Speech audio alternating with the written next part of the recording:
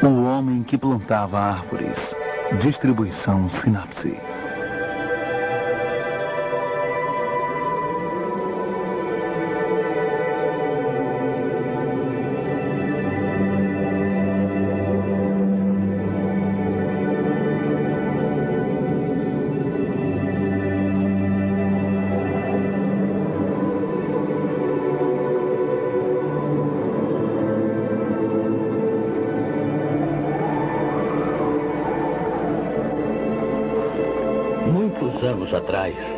Fiz uma caminhada através de um terreno montanhoso, completamente ignorado por turistas, numa parte desconhecida dos Alpes que penetra a região da Provença. Na época em que parti em expedição para essas terras altas e estéreis, que chegam a atingir 1.300 metros de altitude, elas consistiam de terrenos descampados com vegetação rasteira. Nada crescia lá além da lavanda selvagem. Resolvi cruzar a área em sua largura, prolongando a caminhada. Depois de três dias andando, cheguei a um lugar extremamente desolado. Acampei perto das ruínas de uma aldeia abandonada. A água do meu cantil havia acabado no dia anterior e eu precisava enchê-lo novamente. Esse grupo de casas destruídas, semelhante a um ninho de vespas feito em pedaços e abandonado, me fez pensar que algum dia devia ter havido uma fonte ou um poço por ali.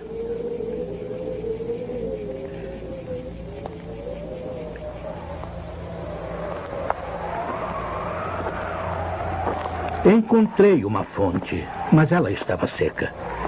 A meia dúzia de casas sem telhado, castigadas pelo vento e pela chuva, e a pequena capela com a torre do sino derrubada, erguiam-se como as casas e as capelas de aldeias povoadas. Mas toda a vida havia abandonado esse lugar. Era um bonito e ensolarado dia de junho, mas naquelas altitudes descampadas, o vento era insuportavelmente forte. Ele uivava e rugia através das ruínas como um animal incomodado durante a refeição. Tive de desfazer o acampamento e sair de lá.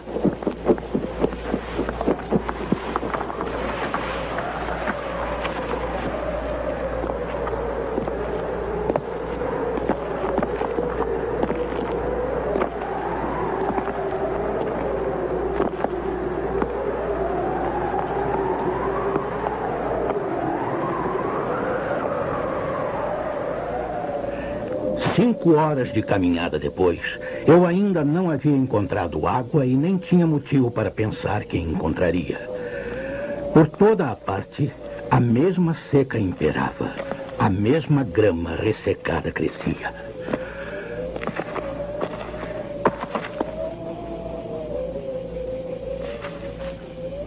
Ao longe, pensei ter avistado uma forma pequena e escura que parecia estar de pé. Achei que fosse um tronco de árvore. Com poucas esperanças, caminhei em direção a ela.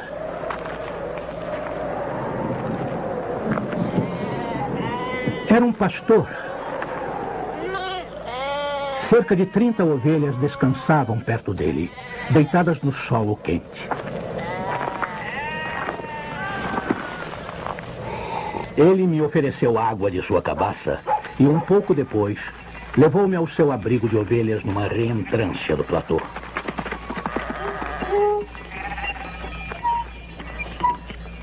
A água que ele carregava era de excelente qualidade e vinha de um profundo poço natural sobre o qual ele havia armado uma roldana bem rudimentar. O homem não falava muito. Os solitários são assim. Mas eu sentia sua segurança e sua confiança. Contudo, isso me pareceu incomum em uma terra tão inóspita. Ele não morava na cabana de pastor, e sim numa casa de pedra. Era fácil ver os concertos que ele havia feito com as próprias mãos para transformar a ruína que tinha encontrado em uma moradia. O telhado era sólido e à prova d'água. O vento batia nas telhas como ondas quebrando na praia. Do lado de dentro, tudo estava bem arrumado. O chão havia sido varrido, sua espingarda estava bem azeitada e uma panela de sopa fervia, pendurada sobre o fogo. Também notei que ele havia se barbeado naquele mesmo dia, que os botões de seu casaco estavam bem presos e que sua roupa havia sido remendada com tanto cuidado que era quase impossível perceber. Ele dividiu sua sopa comigo.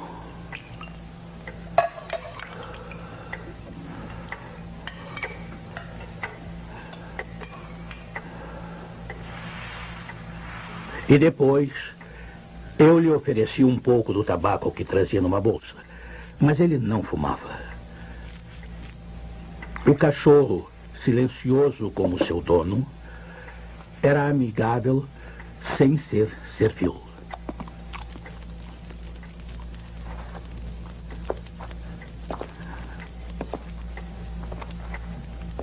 Nós concordamos que eu passaria a noite lá. A aldeia mais próxima ficava a quase dois dias de caminhada. Eu sabia bem que havia poucas cidadezinhas na região. Eram quatro ou cinco aldeias, distantes umas das outras, espalhadas pelas encostas dessas terras altas, escondidas em bosques de carvalho localizados além de qualquer estrada. Elas eram habitadas por carvoeiros. Em lugares assim, a vida é muito difícil. A tolerância dessas famílias que são forçadas a morar junto umas das outras, em um clima tão severo no verão quanto no inverno, se esvai com facilidade e a solidão aumenta a sua insatisfação. Sua ambição cega torna-se monstruosa por causa do eterno desejo de escapar de seu destino. Os homens levam seu carvão para a cidade e retornam em seguida. Até as personalidades mais fortes se desesperam nessa sucessão de esperança e decepção. Entre as mulheres reinam a inveja e as disputas. Para tudo há competição, desde quem vende mais carvão até quem pega o melhor lugar na igreja. Suas virtudes estão eternamente em conflito e seus vícios são uns maiores do que os outros, para não falar da briga geral entre vícios e virtudes. E não há trégua. Além disso, o vento, que também não descansa, perturba os nervos. Ocorrem epidemias de suicídio e muitos casos de loucura, quase sempre envolvendo assassinatos.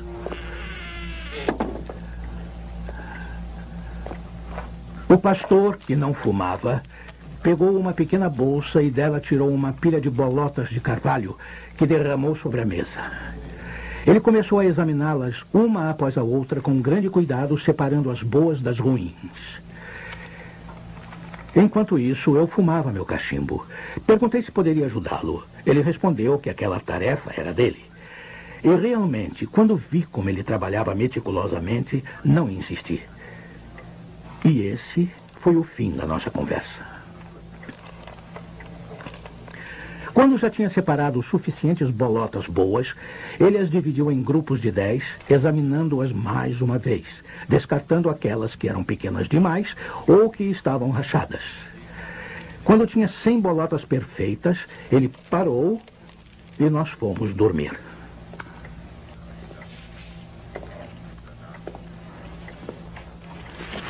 Só de estar perto desse homem, eu me sentia em paz. Na manhã seguinte, pedi permissão para descansar em sua casa por mais um dia. Ele achou o pedido natural, ou talvez eu achasse que nada poderia perturbá-lo. Um dia de descanso não era totalmente necessário para mim, mas eu estava intrigado e queria saber mais sobre ele.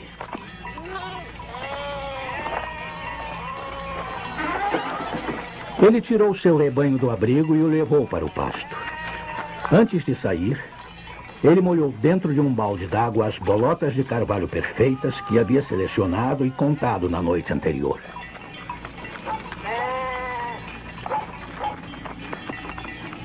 Percebi que seu cajado era, na verdade, uma barra de ferro tão grossa quanto um polegar e com mais ou menos um metro e meio de comprimento.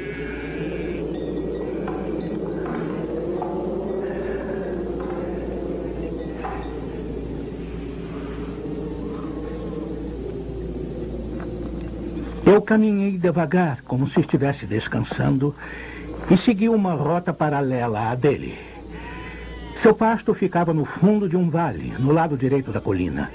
Ele deixou o pequeno rebanho sob a vigilância do cachorro e subiu até onde eu estava. Tive medo de que ele viesse para repreender a minha curiosidade, mas não era esse o caso. Ele veio até mim porque eu estava no meio do seu caminho e me convidou a acompanhá-lo se eu não tivesse nada melhor para fazer. Seu destino era um local 200 metros acima de onde estávamos, no alto do platô. Quando chegamos lá, ele começou a cavucar a terra com a barra de ferro. No buraco que se formava, ele jogava uma bolota e o cobria em seguida. Ele estava plantando carvalhos. Perguntei se aquele terreno pertencia a ele. Ele respondeu que não.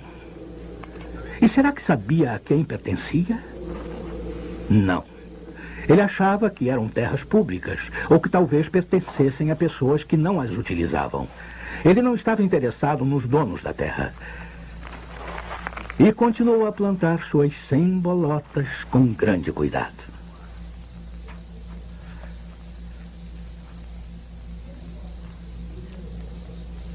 Após almoçarmos, ele recomeçou a selecionar as bolotas. Acho que fui muito insistente com minhas perguntas, porque ele respondeu todas.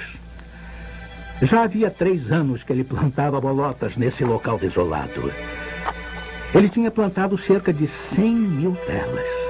Das 100 mil árvores, 20 mil brotaram. Dessas 20 mil, ele esperava perder metade para os roedores e outros acidentes naturais que só a providência pode controlar. No final, restaram 10 mil carvalhos que cresceriam nesse local onde antes não havia nada. Naquele momento comecei a imaginar quantos anos ele teria. Com certeza seriam mais de 50. 55 ele acabou por me dizer. E seu nome era Elzear Bouffier. Ele havia sido dono de uma fazenda nas planícies. E essa era a sua vida. Depois de perder seu filho e posteriormente sua mulher, ele se retirou para esse local isolado, onde seu prazer era morar em paz com suas ovelhas e seu cachorro. Ele chegara à conclusão de que aquela parte do campo estava morrendo por falta de árvores. Ele acrescentou que, como não havia nada de urgente para fazer, havia resolvido remediar essa situação. Minha juventude me levou a imaginar o futuro e como ele me afetaria em termos de algum tipo de busca pela felicidade. Eu disse a ele que dali a 30 anos suas 10 mil árvores estariam magníficas. Ele respondeu simplesmente que se Deus lhe desse uma vida longa, ele plantaria tantas árvores que essas 10 mil pareceriam uma gota no oceano. Ele já estava estudando a reprodução da árvore da faia e tinha mudas plantadas perto de casa. Ele as havia protegido de suas ovelhas e elas estavam crescendo. Além disso, ele estava considerando plantar bétulas nas terras mais baixas, onde havia uma certa umidade perto da superfície do solo. No dia seguinte, nós nos separamos. Um ano depois, em 1914, começou a Primeira Guerra Mundial e eu passei cinco anos no Exército. Como soldado de infantaria, tive pouco tempo para pensar em armas.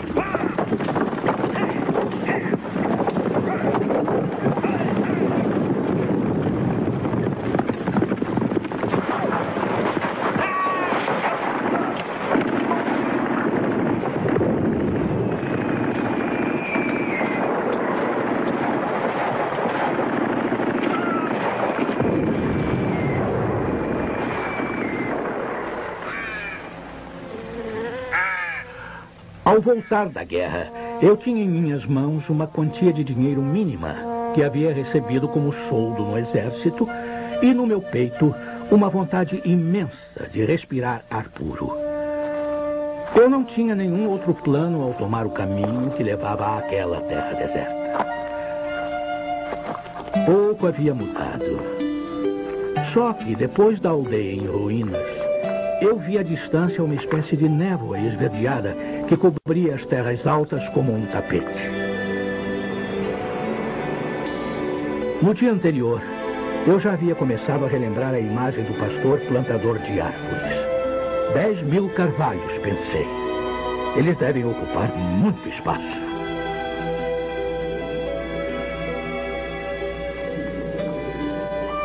Naqueles cinco anos, eu havia visto gente demais morrendo para não imaginar que o pior poderia ter acontecido a Elisier Bouffier.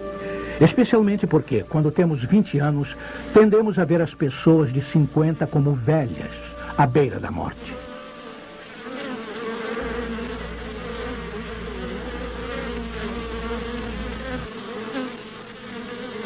Mas ele não havia morrido. Sua profissão já era outra. Ele agora possuía apenas quatro ovelhas, mais cerca de 100 colmeias de abelhas. Para proteger a plantação de árvores, ele se livrou das ovelhas que as ameaçavam. Ele não havia prestado atenção à guerra, apenas continuou plantando, imperturbável. Os carvalhos plantados em 1910 tinham agora 10 anos e eram mais altos do que eu ou o pastor. Que espetáculo impressionante! Literalmente perdi a fala. E como ele também não era muito falador, passamos um dia em silêncio caminhando por sua floresta. As três faixas da floresta tinham, no total, 11 quilômetros de comprimento e uma largura máxima de 3 quilômetros. Ao pensar que a origem disso tudo havia sido as mãos e a alma desse pastor, que não tivera assistência alguma, percebi que os homens podem ser tão eficientes quanto Deus em tarefas que não sejam destruir.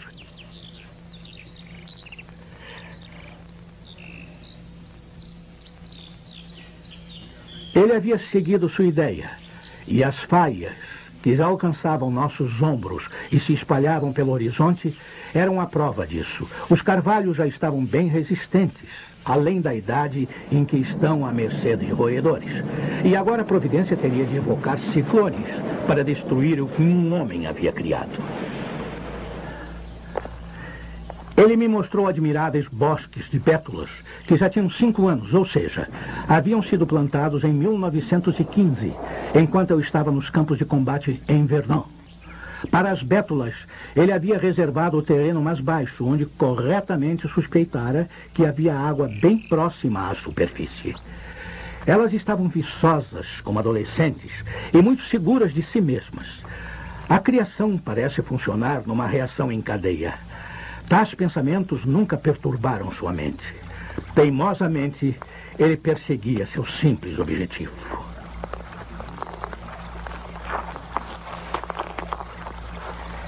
Enquanto eu descia atravessando a aldeia, Vi água correndo em leitos de regatos que sempre estiveram secos. Foi a mais formidável reação em cadeia de que já me dei conta. Há muito tempo, esses regatos estavam cheios de água. Algumas das desafortunadas aldeias que mencionei no começo desta história foram construídas nos locais de antigos povoados galo-romanos, cujos resquícios ainda podem ser encontrados. Arqueólogos, escavando os terrenos, acharam anzóis de pesca onde, no século XII, as pessoas construíam cisternas para armazenar água.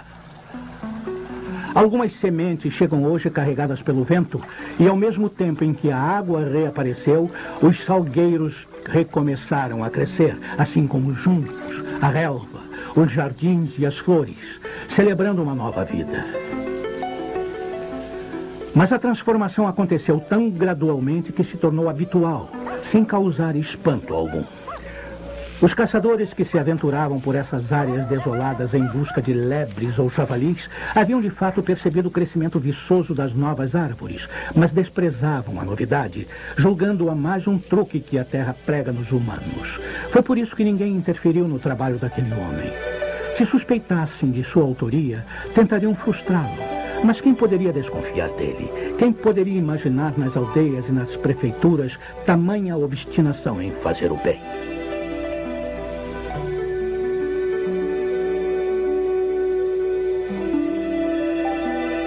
A partir de 1920, nenhum ano se passou sem que eu fizesse uma visita a Elisier Bouffier. Nunca ouvi fraquejar ou cair vítima da dúvida. Só Deus sabe como fazer isso com certos homens.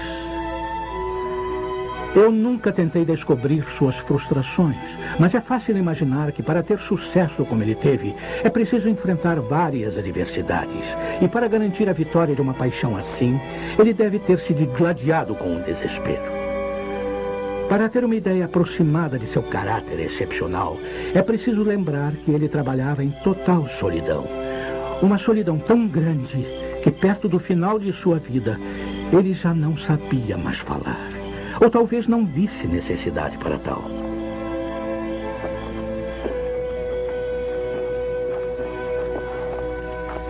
Em 1933, ele recebeu a visita de um guarda florestal perplexo. O oficial ordenou que ele nunca fizesse uma fogueira fora de sua casa, pois poderia ameaçar o crescimento daquela floresta natural. O ingênuo guarda ainda disse que era a primeira vez que viu uma floresta crescer sem ajuda de ninguém. Em 1935, uma verdadeira delegação de oficiais veio examinar a tal floresta natural. Havia um dignitário do Departamento de Terrenos e Florestas, um membro da Assembleia e uma equipe de especialistas.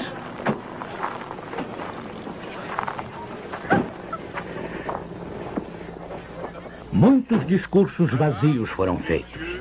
Foi decidido que deveriam fazer algo, mas felizmente não se fez nada, a não ser tomar uma única providência útil. Puseram a floresta sob a proteção do governo, proibindo a entrada de carvoeiros. Era impossível não se deixar encantar pela beleza dessas árvores novas, seu vigor e saúde tão óbvios. Até o parlamentar não conseguiu evitar e foi conquistado. Havia um amigo meu entre os especialistas da delegação. Expliquei o mistério a ele.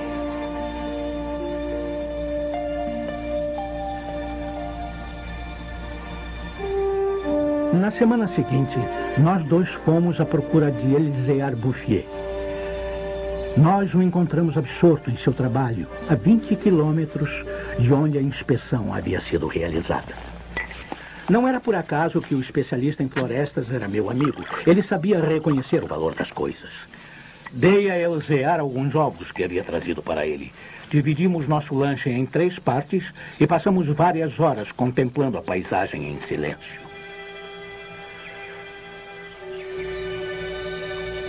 A encosta por onde havíamos nos aproximado estava coberta de árvores com seis ou sete metros de altura. Lembrei-me de como essa região era em 1913, de como ela era deserta. Seu trabalho pacífico e constante, o vento cortante das terras altas, sua frugalidade e, acima de tudo, a serenidade de sua alma haviam dado a esse velho homem uma espécie de saúde que era quase solene. Ele era um atleta de Deus. Tentei imaginar quantos alqueires ele ainda cobriria com suas árvores. Antes de partirmos, meu amigo fez uma simples e única sugestão quanto ao tipo de vida que aquelas terras pareciam acolher melhor. Mas foi apenas isso. E por uma boa razão, ele me disse depois, aquele camarada sabe mais sobre a terra do que eu. Após uma hora de caminhada, durante a qual ruminou o assunto, meu amigo acrescentou: Ele sabe mais do que qualquer outra pessoa. Ele descobriu uma maneira maravilhosa de ser feliz. Foi graças a esse especialista que não apenas a floresta, mas também a felicidade de seu criador foram protegidas. A floresta foi ameaçada apenas uma vez, durante a guerra de 1939. Na época, os automóveis eram movidos a gás e precisavam de lenha para funcionar. Os carvalhos de 1910 foram os primeiros a serem cortados. Mas o local era tão distante de qualquer estrada que a extração não compensava economicamente e foi abandonada.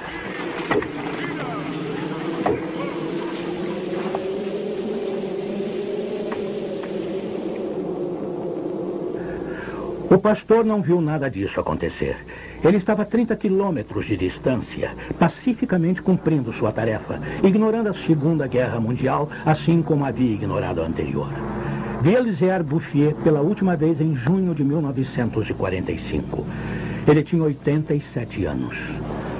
Eu havia tomado minha velha trilha para o descampado. Mas na época, apesar do estado desolado em que o país se encontrava após a guerra, havia um ônibus que fazia o percurso entre o vale do rio de e a montanha. Culpei a relativa velocidade do veículo pelo fato de não conseguir mais reconhecer o trajeto de minhas primeiras caminhadas. Foi só quando vi um cartaz com o nome de uma aldeia que me convenci de que estava de fato na região que conhecera antes, num estado de decadência e isolamento. Saltei do ônibus em Vergon. Em 1913, essa aldeia com uma dúzia de casas tinha três habitantes. Avessos e estranhos, eles viviam num ódio mútuo e sobreviviam dos animais que capturavam em suas armadilhas. Eles viviam uma total falta de esperança. Mas tudo havia mudado, até o ar. Em vez das rajadas de vento brutais e repentinas que me receberam no passado, senti uma brisa suave, carregada de perfumes. Um som como da água corrente vinha das alturas. Era o vento atravessando a floresta. Ainda mais espantoso, ouvi realmente o som da água correndo numa calha. Vi que haviam construído uma fonte que brotava em profusão e, ainda mais comovido, vi que ali perto havia sido plantada uma árvore de tilha, símbolo incontestável da ressurreição.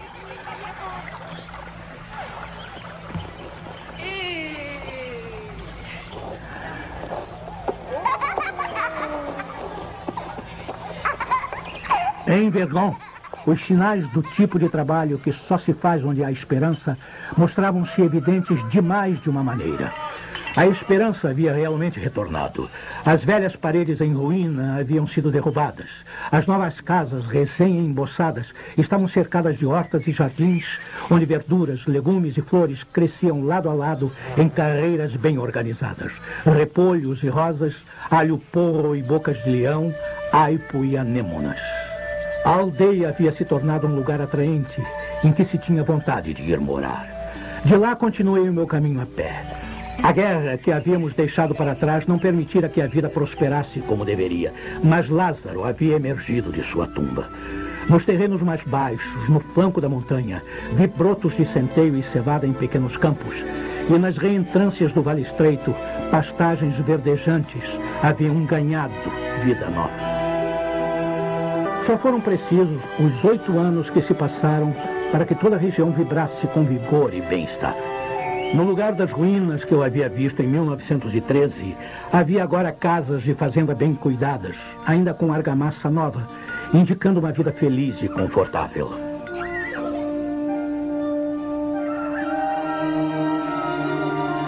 As antigas fontes, alimentadas pela chuva e pela neve retida pelas florestas, brotavam novamente.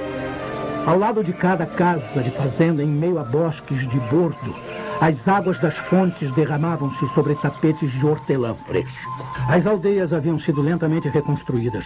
Gente das planícies, onde a terra é cara, veio para essa região trazendo sua juventude, seu vigor e seu espírito de aventura. Nas estradas avistavam-se homens e mulheres bem alimentados, e meninos e meninas que sabiam sorrir e apreciar as celebrações rurais.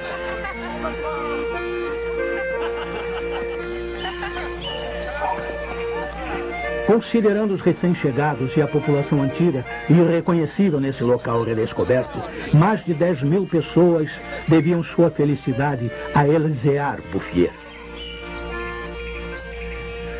Quando penso naquele homem que, contando apenas com seus recursos físicos e morais, foi capaz de fazer com que essa terra prometida crescesse do deserto, acho que, apesar de tudo, a condição humana é admirável.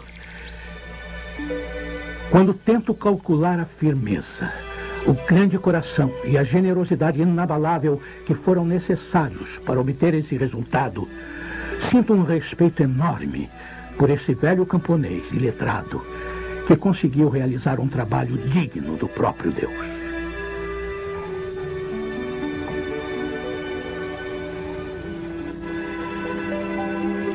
Elziar Bouffier morreu tranquilamente em 1947 numa casa de repouso em Bannon.